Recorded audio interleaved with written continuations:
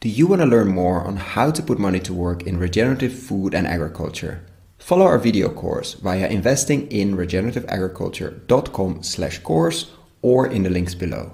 Now, on to the podcast. Flavor always wins. What's the role of chefs in the regenerative transition and why did this chef start a seed company and he feels pretty optimistic about the future of the food system? Welcome to another episode of Investing in Regenerative Agriculture, Investing as if the planet mattered, podcast show where I talk to the pioneers in the regenerative food and agriculture space to learn more on how to put our money to work to regenerate soil, people, local communities, and ecosystems while making an appropriate and fair return. Why my focus on soil and regeneration? Because so many of the pressing issues we face today have their roots in how we treat our land, grow our food, and what we eat and it's time that we, as investors, big and small, and consumers, start paying much more attention to the dirt slash soil underneath our feet. In March last year, we launched our membership community to make it easy for fans to support our work, and so many of you have joined as a member. We've launched different types of benefits, exclusive content, Q&A webinars with former guests, Ask Me Anything sessions, plus so much more to come in the future. For more information on the different tiers, benefits, and how to become a member, check gumroad.com slash investingregenag or find the link below. Thank you. So welcome to another episode today with chef and co-owner of Blue Hill in Manhattan, New York and Blue Hill at Stone Barns, plus the co-founder of Row 7 Seeds. Welcome, Chef Dan Barber. Thank you. Nice to be here. And to start with a personal, I mean, you've shared it before, but I'm wondering if there is more to that story when you saw the potential of regenerative agriculture, where soil came really into into your life? Was it a moment, or was that more like a longer, slowly evolving journey? There is a moment that that was a kind of before and after moment. I think the thing that came to mind is that I was standing at a at a farm in upstate New York, run by owned and run by a man named Klaus Martens, and Klaus had been supplying me with wheat for many years that we ground, we, we milled into bread, into flour for bread. And it was extraordinary. We made bread that I, I, I had become quite well known for. And I had set out to write a book about farm to table cooking. And I really was starting the book with the extraordinary wheat that I milled from Klaus's uh, growing practices. And so I decided to end up visiting him and learning the recipe for why his wheat was so spectacular. And I arrived and stood in the middle of the field, and it took about, I don't know, 30 seconds for me to realize that of the 2,000 acres of his farm, uh, very little of it was actually in wheat. I saw I saw some beautiful wheat growing, but I also saw tons of other crops, rye and buckwheat and millet and barley and and they were all timed in this meticulous rotation, a meticulously timed rotation that provided soil fertility for his major crops, one of which being wheat, another being corn. But the the image was just so immediate for me. It was like I was being touted as a, a sort of leading farm to table chef. And here I was only supporting a tiny slice of the farm. And what I learned is that all these other crops that Klaus was growing that I mentioned and the dozens of others that I saw and learned about that day were there to provide the fertility, the diversity, and ultimately the fertility that allowed for the wheat crop to be so successful. And tasty.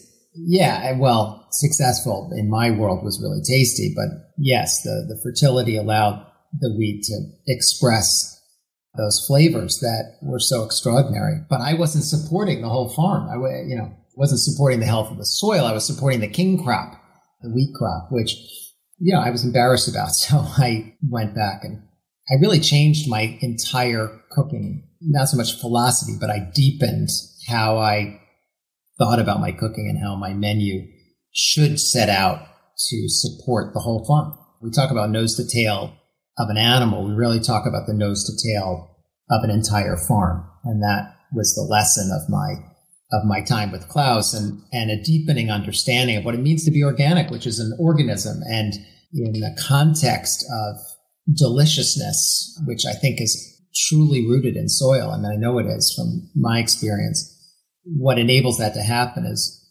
a farmer who is practicing the kind of diversity that allows fertility to thrive and gives you a crop like the wheat that I was tasting.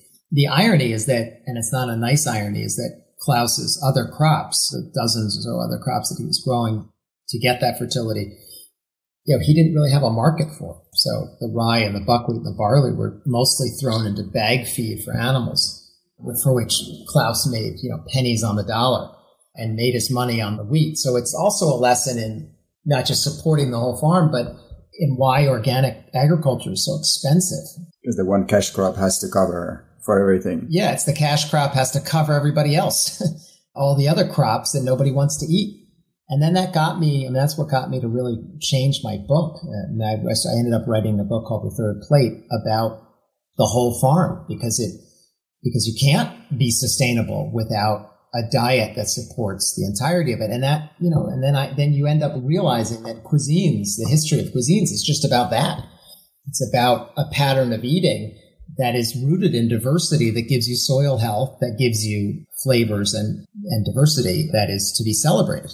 So that's the lesson that I came away with from. And you created, and I will definitely link the, the book below in the show notes, and you created your famous uh, rotation risotto. Yeah. And yeah. did you see that being taken by other chefs? Do you see that as a role of chefs to rediscover that what we have done based on the landscape, what a landscape can provide, which is changing over time now as, as we have changed the landscapes quite dramatically? Do you see that as your role and, and potentially other roles of other the roles of other chefs in this, say, regenerative transition? I think it's the role of all chefs, yeah, is to support what is truly regenerative that's kind of the point of good cooking, you know, and it gets lost on us sometimes. I, I think it's being rediscovered. I, I, Has it changed in that moment, since that moment in that field, which is, I don't know, eight, ten years ago, maybe? Have you seen shifts around you for the good and the bad? Yeah, I've, what I've seen is the culture of food changed dramatically in the last 10 years. Sure. I mean, look, when I started Blue Hill, you had to have certain things on the menu. You know, the menu, in many ways, you didn't have a lot of choice if you wanted to be a high end restaurant. Today, the definition of a high end restaurant is to celebrate those crops that are grown locally. Actually, even more than that, the best restaurants in the world now are about a menu that is filled with ingredients that you can't get anywhere else. And what the definition of that is hyper local. I mean, you're, you know, that's that the whole shift in food cultures has, has enabled or led by chefs has been about distinctiveness of place and that's about ecology and that's about celebrating your environment in a way that can be expressed through crops. And you know, cooking is celebrating that. So that's a very positive development. And it's a rarefied part of the of the food culture because it's white tablecloth restaurants.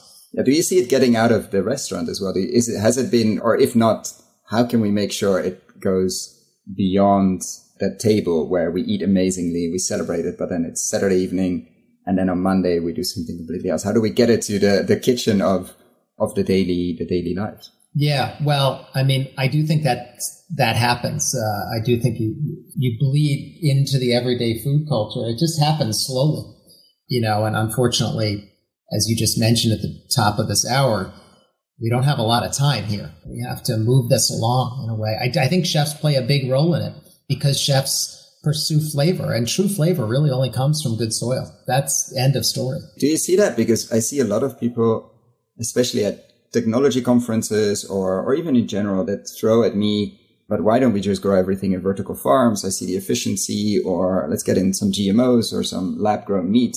And i'm looking i'm not looking for an answer there because it's that's a whole different discussion but what do you say to people when they throw that on the table, basically to you? Like, why bother with soil so much? Why bother with soil so much is, again, I'm, uh, my shiv is flavor. And so I know that you can only get that. The people who argue that you can get that from hydroponics or from multi story growing facilities are quite wrong. And what I've discovered is that there's so much to discover. This idea that we actually know what's happening in soil or that you know, what's to be learned about soil, soil health and the potential for human health and flavors is, something that our great grandparents did. is preposterous. It's, it's laughable. We know so little. What is the latest thing you discovered about soil that really surprised you? I've been talking to a plant breeder, a corn breeder, who has been breeding a type of corn that fixes nitrogen on its own.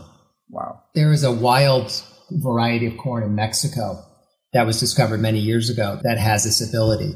But he's been breeding for it. So he's been taking those genetics and actually selecting for it. So he's got a corn plant that, I mean, just is revolutionary. You just have to take you through. I mean, I think you understand, but I just want to make sure everyone who's listening understands it. Walk us through it. Yeah. Yeah. Well, just in America, we have 180 million acres of corn and soybean rotation. 100% of those rotations are based on fertilizers. Of those fertilizers, 70% of that accounts for nitrogen, which is injected into the soil in a chemical form to make the plant grow faster and more robust.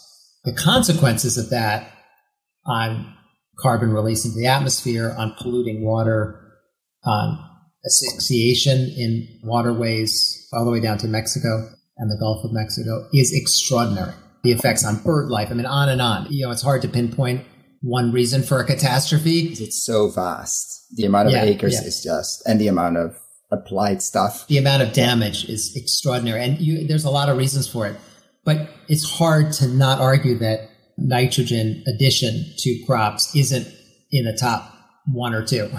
and when you talk about corn, you're really talking about the two evils this monoculture of corn and nitrogen. So that's the background. And here we are with a breeder who no one's ever heard of in the middle of the country who's breeding a corn variety that fixes its own nitrogen. It doesn't need any nitrogen. So he's showing me a picture of his corn grown organically without any additions, but very healthy soil. So he's done all the rotations to lock, like that farmer Klaus did when I was watching him in the field, to lock and load the soil with the kind of fertility that can really give corn its boost. But also the corn fixes its own nitrogen and he was growing it next to a literally uh, 15 feet away from corn plants that were fed the requisite amount of nitrogen. And his growth was almost exactly the same as the nitrogen additions. And the taste, or you, or you didn't taste Well. I ha- I'm taste. I'm it's interesting you say that because I'm I cannot wait for the the harvest, which is coming uh, in three weeks. And this is a feed corn, but I still am excited, very excited to taste it. But the reason I'm telling you all this it, because we started by saying, you know, we know nothing about soil, and the reason I'm saying that is because what he has discovered himself is fascinating. What he was explaining is that it's not that you're simply selecting a corn plant that can fix its own nitrogen, because that in and of itself is a revolution. Okay. That in and of itself, if we had the mindset, the techno guys that you were talking to at your conferences, if you could explain them just the biological opportunity of that is so extraordinary and so exciting that in and of itself, it's like, you know, Jeff Bezos going to space. That's a whole thing. But let me tell you what I really got excited about. What I really got excited about is the only way the corn fixes nitrogen from the air naturally is because of soil biology. And what he's discovered is that at the rhizosphere, which is where the root system is in the soil, there is through this corn plant an injection, literally an injection of bacteria. And he's watched it on film where it comes out of the roots of the corn plant into the soil community, microbial community. And what he's saying is that, look, this plant will literally feed like a sugar syrup into the soil, but you have to have the right community to reply. to reply back. So it's a coalescing of what is literally ejected from the corn plant into this rhizosphere. The biological community is eating each other. They're cohabitating and that environment needs to be correct because otherwise the plant won't, it won't go back up into the plant. So, right. So he's saying, yes, it's all, yes, this plant is amazing, but actually it's only amazing because of the soil and what the potential to, and this opens up this whole other area of investigation, which is what is the biological potential of a soil community that is truly healthy? Well, we no, nobody's doing that. Nobody's doing that. What's the taste potential or the biomass potential of a landscape? Yeah. Well, that's so that's okay. So that's what I'm getting at is, and what I wanted to show you a picture of was the corn uh, fed to chickens. from this natural fixation. And what you would see is a picture of a yolk that is so orange, it looks like the setting sun, uh, you know, at seven o'clock in Hawaii. It is so bright. I've never seen anything like it.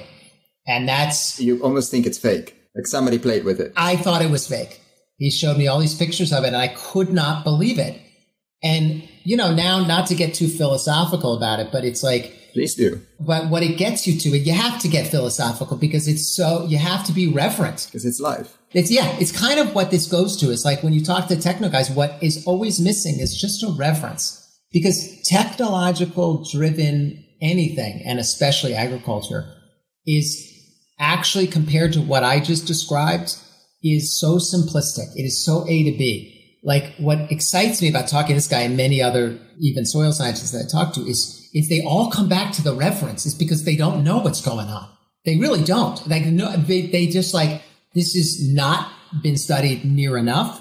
We spend our money going up to space and we don't spend our money going down. We know more about the soil on Mar- Mars than we know about our own. Yeah. Right. And the reference is the sense of like, this is the most complex biology imaginable. And we don't have a, a, language to excite people about biology. We have a language to excite people about technology because that's, you know, that's the Steve Jobs. We do. It's a language of taste. It's a language of flavor. Well, but I, that would be my argument is that the only way to get people to be excited about biology is to taste it because I think you can. I think when the biology's right, and here's the reverence part. And we're starting to measuring it. And you're doing that with Joe Clapperton. And I mean, there's starting to come, the technology piece is coming in this case to help to measure the nutrients. Yeah. Right. And I think what it ends up being is a gift that flavor is a gift. And then what that chicken is saying or the egg is saying to you is you've grown that corn correctly and I'm now going to reward you with an egg that's going to blow your mind. And then you get a flavor like that and it becomes revelatory. And that soil talking to you, it just speaks in a language through that kind of flavor. And obviously the health benefits. You look at the egg, it's like you look healthy. I mean, you feel healthier just looking at it, you know? It's not like you know what I mean? It's like there's so much beta carotene running through that thing, it probably sets you up for life. So to me, it's just, it's so exciting. It's so exciting. I get so frustrated. It's because we know so little. And yet, when you try and explain this to people, it's like biology. It's like it's so complex and it's inefficient because look, to feed the biological community is inefficient. It takes a lot. We, A, we don't know a lot, but B, what we do know is that you can't grow one thing of one variety over and over again. Technology allows you to do that. So all of a sudden you're just frustrated. And the response back is, well, we have a population that's one third hungry and, and a population that's exploding. And don't you want to feed people? And, you know, oh God. So anyway, you get all tripped up with that stuff. But, and so if we're in that phase of knowing so little, which is extremely exciting, I think, and we're in the first innings of this discovery process, what would you tell to entrepreneurs listening, but also investors listening that are excited, that read your book, read other books, have visited farms and are ready to invest or ready to work in the space? Like where should they, without giving investment advice, obviously, but where should they focus? Where should they get to work if they're not a chef? You don't want investment advice from me, but I would say that if you are an investor and you're looking at the ag space, your horizon should not be on five year horizons. Your horizon should be on 20 and 30 years. And if your horizon on 20 and 30 years, I'd bet with biology every time. There's no question in my mind that as we go down this road of technology, of replacing the cow with impossible burgers and doing all the hydroponics that we're doing, we are going to discover that the health consequences of this are extraordinary. And there is going to be a rush back to real food and we need to be ready. And if you're ready, if you're an investor, you are going to do quite well at the end of the game. I think it's a lot, you know, it reminds me when I was growing up, I just thought of this. I, when I growing up, um, you know, everyone was eating margarine. I don't know if you're old enough to, I mean, margarine. In the Netherlands, it was a thing. Yeah. Unilever became quite big with this stuff. In the US, to eat butter in the 70s was like laughable. It was like, well, we've, you know, scientists have discovered fat is bad. Yeah. Something that's fat's bad and that can be so much more healthy and, you know, is a fine substitute for butter. And there's this woman, Joan Gussow, who's a, one of my favorite nutritionist scholars. And she has this quote that says, I never switched to margarine because I always trusted cows more than scientists. That's what I would, if I was an investor, that's what I would look at. I would look at biological systems and the health of animals and humans as much more trustworthy than what science can do, technological science anyway can do.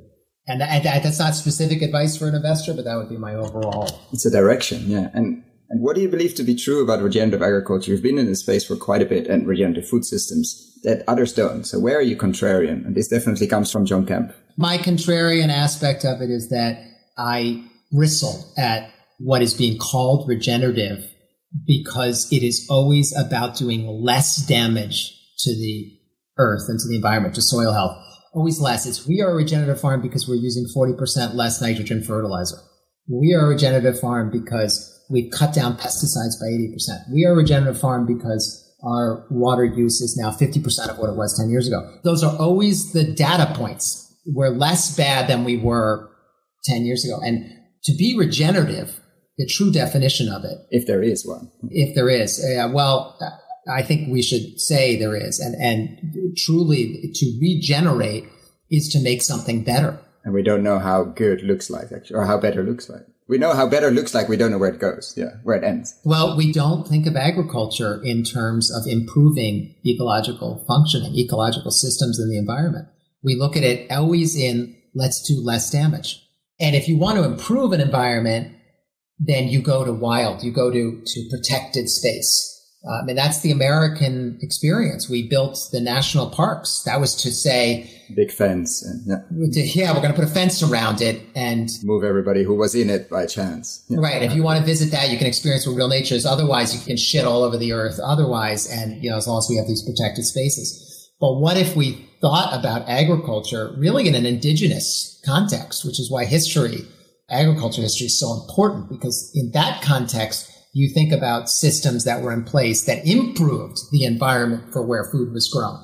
And that is not only possible, it's absolutely necessary to feed the world in the future. So regenerative, if you're truly regenerative, you are leaving your farmland in better condition every year than you had it the year before. And that I do think that's possible. And for your neighbors and for your children and for everyone you're passing the farm on, that should be the responsibility of agriculture. And that kind of ethic is not in the American ethic of growing food. And you mentioned uh, asking financial advice from you probably is not a good idea, but let's say overnight you're no longer a chef, but you become in charge of a quite a large fund, let's say a billion dollars. Maybe I have to increase it to 10 billion now because of inflation and, and billions are fly, flying around. But let's say you have a lot of resources what would you invest in? What would you prioritize? I'm not asking to the dollar amount, but what would you prioritize in terms of investments? And it can be a very long term fund. Yeah, grass fed beef, probably. I mean, if you're going for the big dog in America, I go for grass fed beef or grass fed milk because the, the environmental impact on grain fed meat and grain fed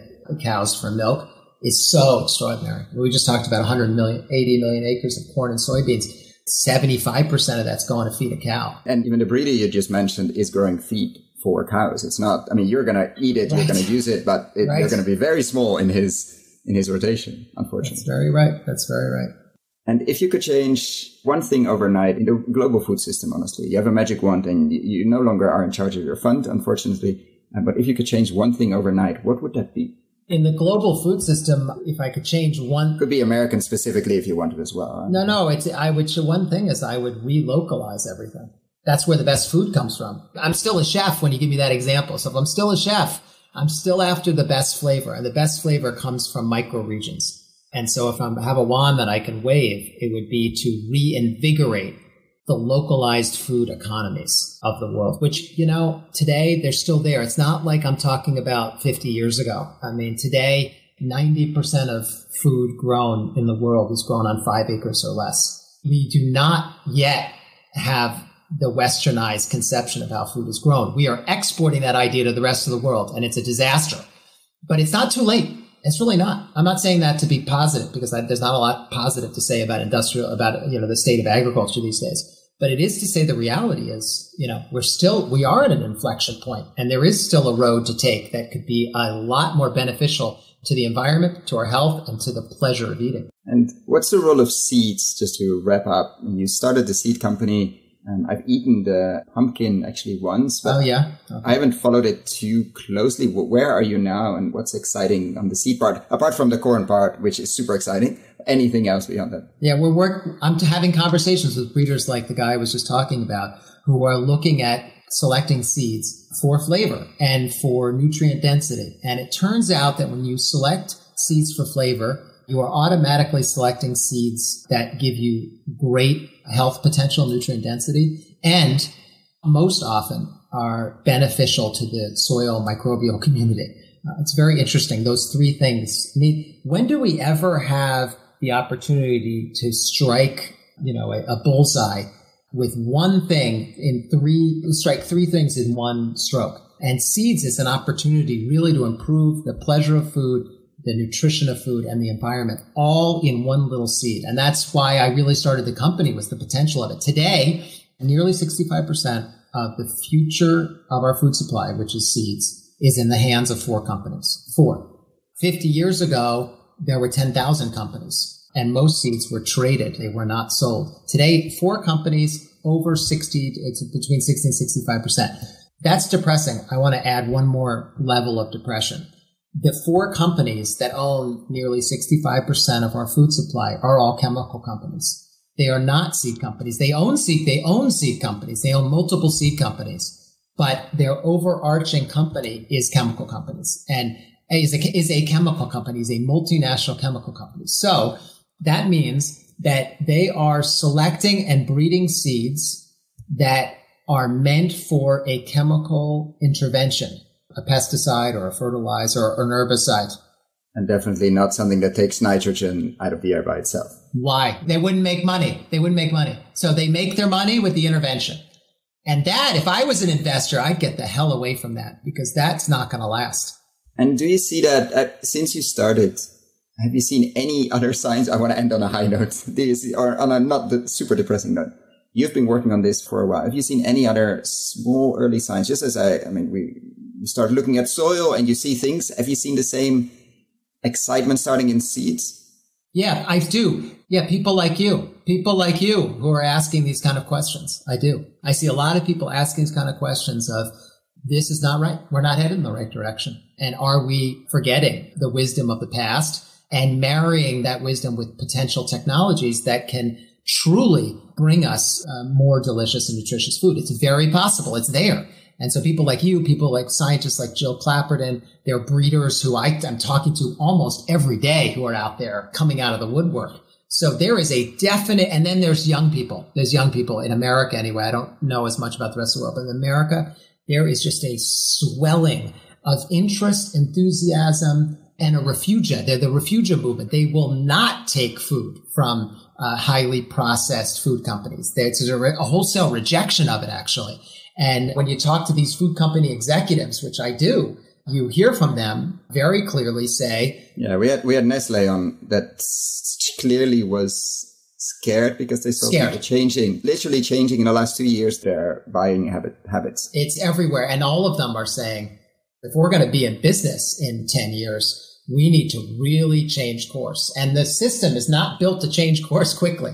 So it's going to be very challenging. But I think the groundswell of attention that's happening is happening because uh, on younger people, and I think it's being driven by pleasure and taste. It's not just people wanting to save the environment, because I don't think at the end of the day that drives enough people. It's enough. No, it's not. It's the pleasure that you get from really good food, and people are willing to spend a little more for it, but unwilling to support the companies that don't support that. I, if I were an investor, just from a brand perspective, I would not be in heavily investing in a company that is not focused on that next generation. Because once this generation that I'm talking about has kids, forget it. I mean, you think it's bad, you think it's interesting now. It'll be really interesting when they have kids. Because once you have kids, you, are so conscious of what you're eating and what they're eating, and uh, it's another ball game. So I do actually, you know, I'm pretty cynical about everything. I'm pretty, I, I feel very positive about the future of where food could go. I, I, to your point, I hope it happens quickly enough. Thank you so much. I know you need to run. I will wrap up. Thank you, man. Thanks for your good work. Great questions. Thank you so much, and good luck with the seeds and everything else. If you found the Investing in Regenerative Agriculture and Food podcast valuable, there are a few simple ways you can use to support it. Number one, rate and review the podcast on your podcast app. That's the best way for other listeners to find the podcast, and it only takes a few seconds. Number two, share this podcast on social media or email it to your friends and colleagues. Number three, if this podcast has been of value to you and if you have the means, please join my membership community to help grow this platform and allow me to take it further. You can find all the details on gumroad.com slash investingregenag or in the description below. Thank you so much and see you at the next podcast.